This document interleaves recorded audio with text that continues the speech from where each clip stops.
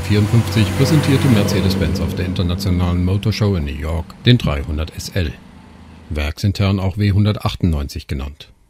Aufgrund der Rennerfolge, die Mercedes mit dem Rennsportwagen W194 erzielt hatte, war der Ruf nach einem Mercedes-Sportwagen groß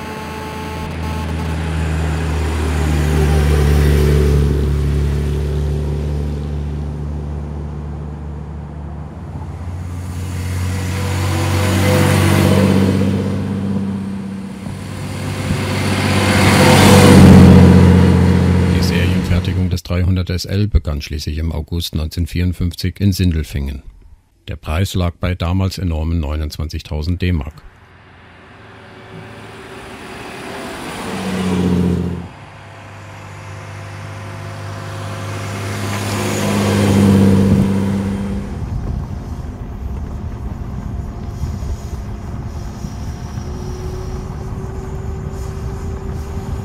Zahl 300 steht für ein Zehntel des Hubraums in Zehntel gemessen, denn mit seinen 2996 Kubik, dem reinen Sechszylindermotor und 215 PS bei 5800 Umdrehungen bringt es der Flügeltüre auf beachtliche 260 km pro Stunde.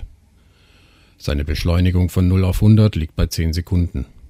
Damit der Motor unter der flach gehaltenen Haube Platz fand, musste er um 45 Grad seitlich geneigt werden.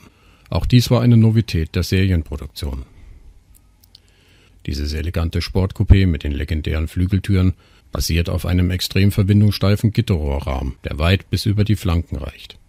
Dies ist der Grund, weshalb keine herkömmlichen Türen eingesetzt werden konnten und die auffälligen Flügeltüren zum Einsatz kamen.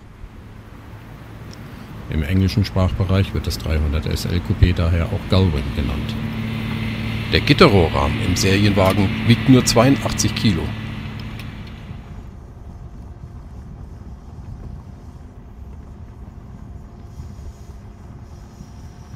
Der Innenraum des 300 SL ist übersichtlich. Drehzahlmesser und Tacho liegen im Hauptblickfeld des Fahrers. Um das Ein- und Aussteigen zu erleichtern, lässt sich das Lenkrad in der vollen Umdrehung wegklappen. Von den 300 SL Coupés wurden in dem Produktionszeitraum zwischen 1954 und 1957 nur 1400 Exemplare gebaut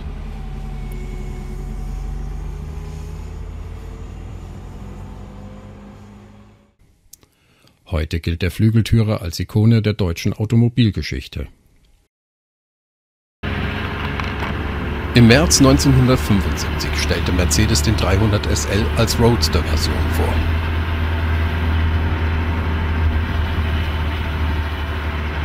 Der amerikanische Markt hatte Vollspannung auf dieses Fahrzeug gewartet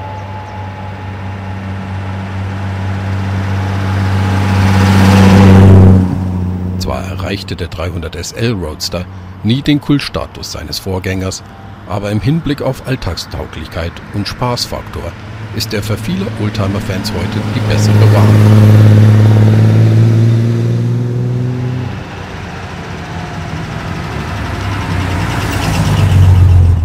In Form und Schönheit sind beide Modell perfekt und erhielten 1999 von einer internationalen Jury den Titel Sportwagen des Jahrhunderts.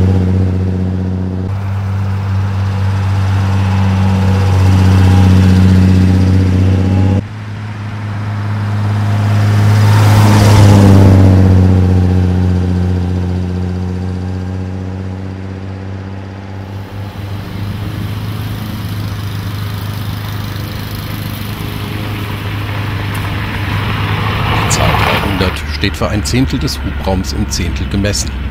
Denn mit seinen 2996 Kubik, dem reinen Sechszylindermotor und 215 PS bei 5800 Umdrehungen in der Minute bringt es der Mercedes 300 SL auf beachtliche 260 km pro Stunde. Seine Beschleunigung von 0 auf 100 km pro Stunde liegt bei 10 Sekunden.